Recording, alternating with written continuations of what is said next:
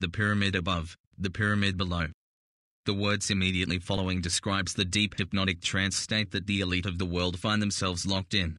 Far from being in control of an agenda for complete world domination, these elite religious, political and financial leaders are being manipulated from above, from a place they believe to be the domain of the gods.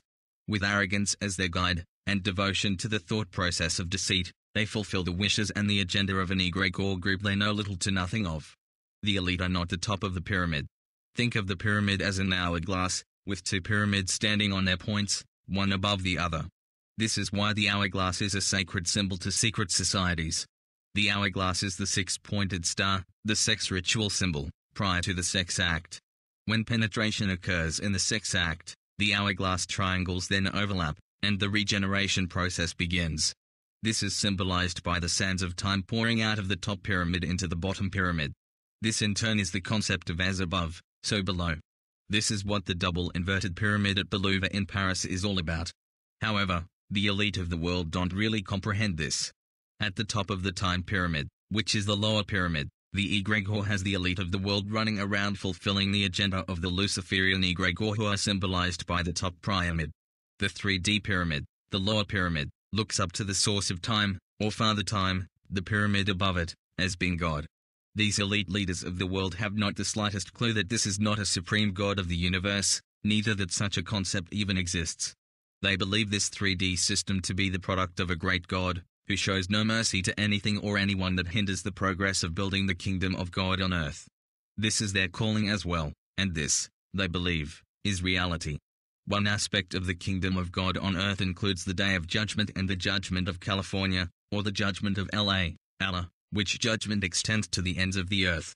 For this reason they must seek out every opportunity, to further the bloodshed, the pursuit of power, wealth and unending fear, or they feel the sense of being a bad steward and an unworthy servant of the Lord. Because the trance state is so ingrained, so deeply rooted within their illusory life experience, they can't even begin to comprehend what's written here, or what it is that's transpiring in the 3D realm. The elite are all compartmentalized, and even more so than the average man. The reason for this is that they don't believe they're boxed in or limited in scope and influence.